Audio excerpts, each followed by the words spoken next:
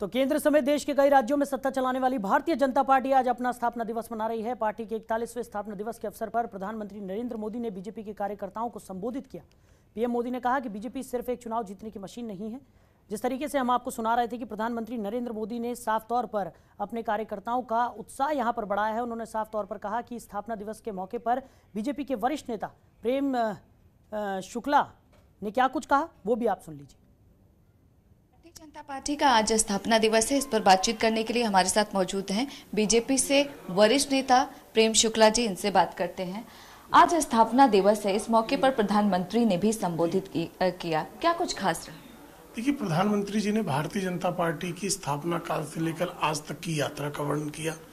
प्रधानमंत्री जी ने भारतीय जनता पार्टी की अंत्योदय की नीतियों पर प्रकाश डाला।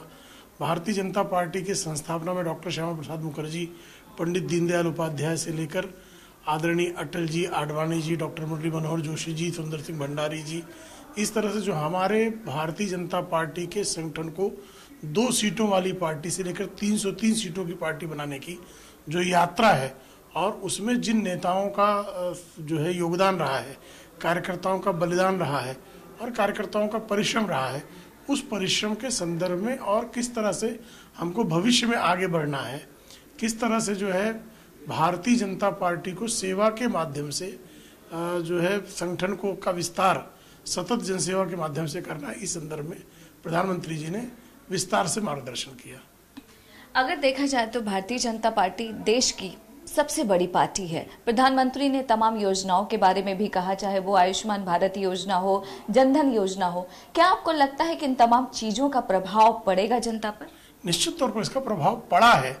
2014 से 2019 के बीच में भारतीय जनता पार्टी की सरकार के खिलाफ एंटी इनकम्बेंसी होने के बजाय अगर प्रो इनकम्बेंसी हुई तो उसका एकमेव कारण है कि भारतीय जनता पार्टी में आदरणीय नरेंद्र मोदी जी के नेतृत्व में जिस तरह से पाँच वर्षों में काम किया, चाहे वह जनधन योजना के माध्यम से गरीबों के खाते खुलवाना हो, चाहे लोगों को शौचालय प्रदान करना हो चाहे जन किसान सम्मान निधि के माध्यम से किसानों के खाते में पैसे ट्रांसफ़र हुए हों, चाहे एलपीजी, गैस जो है गरीबों के घर पहुँची हो, तमाम योजनाओं के माध्यम से जन कल्याण को सचमुच जो है जनता के कल्याण के लिए जन कल्याणकारी योजनाओं का क्रियान्वयन जिस तरह से सफलतापूर्वक संचालित हुआ है, उसके, उसका लाभ भारतीय जनता पार्टी को निश्चित तौर पर मिला है। देने के लिए शुक्रिया। कैमरा पर्सन शेरा के साथ ममता चतुर्वेदी, जनतन टीवी, दिल्ली। खबरों के निष्पक्ष विश्लेषण के लिए सब्सक्राइब करें Jantantra TV and press the bell icon. Never miss any update